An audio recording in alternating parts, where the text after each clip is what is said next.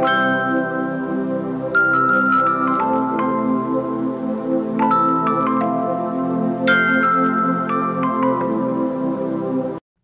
mừng quý vị và các bạn đã đến với bản tin dự báo thời tiết hôm nay và ngày mai, mùng 6 tháng 3 năm 2021.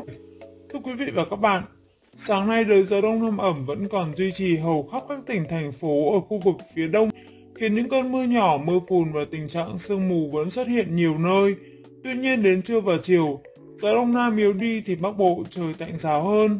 Về đêm, nhiệt độ ngoài trời vẫn ở mức rét, tại khu vực Trung Du và vùng núi phổ biến trong khoảng từ 15 đến 18 độ, vùng đồng bằng là từ 18 đến 20 độ. Trạng thái ấm dần lên này ở khu vực phía Đông Bắc Bộ, trong đó có thủ đô Hà Nội còn duy trì trong ngày mai nữa. Dự báo mức nhiệt cao nhất trong ngày mai ở Bắc Bộ sẽ tăng lên ngưỡng từ 23 đến 26 độ. Riêng khu vực Tây Bắc như Lai Châu, Điện Biên, Sơn La hay khu vực phía Tây của tỉnh Hòa Bình, ít chịu tác động của gió ẩm, trời có nắng sớm hơn với nhiệt độ cao từ 26 đến 29 độ. Sau đó từ đêm mai mùng 6 sang đến ngày mùng 7 tháng 3 thì Bắc Bộ lại chịu tác động của không khí lạnh ở phía Bắc và vùng hội tụ gió trên cao. Vì thế nên trời sẽ có mưa, mưa rào và có nơi có rông trở lại. Riêng khu vực vùng núi Tây Bắc sẽ có những điểm mưa khá. Cùng với những cơn mưa thì nền nhiệt trong ngày mùng 7 cũng sẽ giảm đáng kể, trời chuyển rét. Với khu vực Trung Bộ, không khí lạnh suy yếu khiến cho các tỉnh từ Thanh Hóa tới Thừa Thiên Huế trời chỉ còn nhiều mây và sương mù vào thời điểm sáng sớm. Còn trưa chiều thì mây giảm, trời chuyển nắng, nhiệt độ cao nhất tăng lên ngưỡng từ 24 đến 28 độ. Tuy nhiên cũng do ảnh hưởng của không khí lạnh, nên từ ngày mùng 7 tháng 3, ở các tỉnh phía Bắc của miền Trung cũng sẽ có mưa rào và rông. Đồng thời trời cũng chuyển rét trở lại. Các khu vực còn lại từ thành phố Đà Nẵng xuống Bình Thuận trời ít mưa, nắng đều, vì vậy mà nhiệt độ cao hơn phổ biến từ 29 đến 32 độ. Ở phía Nam, cả hai khu vực là Nam Bộ và Tây Nguyên trong cả 3 ngày tới, thời tiết chủ đạo vẫn là khô và nóng. Dự báo mức nhiệt cao nhất ngày tại khu vực Nam Bộ vẫn lên tới mức từ 32 đến 35 độ. Số điểm đạt mức nhiệt nắng nóng 35 độ được dự báo sẽ là xuất hiện nhiều hơn, không chỉ ở miền đông của Nam Bộ và sẽ lan dần sang cả các tỉnh miền Tây. Còn ở vùng cao Tây Nguyên, nhiệt độ phổ biến từ 30 đến 33 độ, và tiếp theo sẽ là phần dự báo chi tiết thời tiết của các vùng trên cả nước mùng 6 tháng 3 năm 2021. Mời quý vị và các bạn cùng chú ý theo dõi. Khu vực Hà Nội, nhiều mây, sáng có mưa nhỏ, mưa phùn và sương mù, sau có mưa vài nơi. Gió Đông Nam cấp 2, cấp 3, sáng sớm và đêm trời rét. Nhiệt độ thấp nhất từ 17 đến 20 độ, nhiệt độ cao nhất từ 21 đến 24 độ. Phía Tây Bắc Bộ, nhiều mây, sáng có mưa nhỏ, mưa phùn và sương mù, sau không mưa, Riêng khu Tây Bắc có mưa vài nơi, trưa chiều giảm mây trời nắng, gió nhẹ.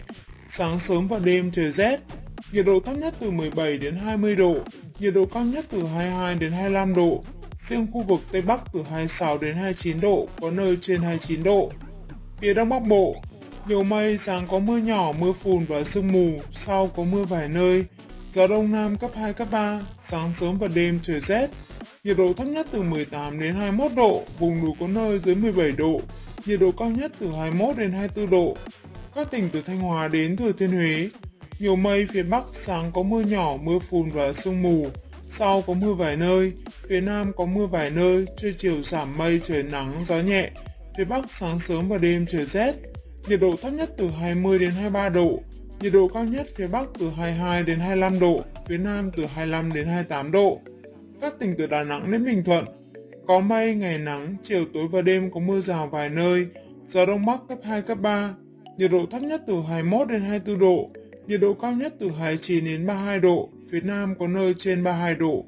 Tây Nguyên, có mây, ngày nắng, chiều tối và đêm có mưa rào và rông vài nơi, gió đông bắc đến đông cấp 2, cấp 3, nhiệt độ thấp nhất từ 18 đến 21 độ, nhiệt độ cao nhất từ 30 đến 33 độ, có nơi trên 33 độ. Nam Bộ, có mây, ngày nắng, riêng miền Đông có nắng nóng, chiều tối và đêm có mưa rào và rông vài nơi, gió Đông Bắc đến Đông cấp 2, cấp 3, nhiệt độ thấp nhất từ 23 đến 26 độ, nhiệt độ cao nhất từ 33 đến 36 độ. Dự báo thời tiết biển, Bắc Vịnh Bắc Bộ có mưa vài nơi, sáng sớm có sương mù, tầm nhìn xa trên 10 km, giảm xuống dưới 1 km trong sương mù, gió Đông Nam cấp 3, cấp 4, đêm tăng lên cấp 5. Nam Vịnh Bắc Bộ có mưa vài nơi, Sáng sớm có sương mù, tầm nhìn xa trên 10 km, giảm xuống dưới 1 km trong sương mù, gió đông nam cấp 3, cấp 4, đêm tăng lên cấp 5.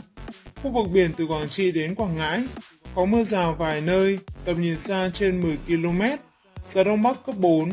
Khu vực biển từ Bình Định đến Ninh Thuận, có mưa rào vài nơi, tầm nhìn xa trên 10 km, gió đông cấp 3, cấp 4.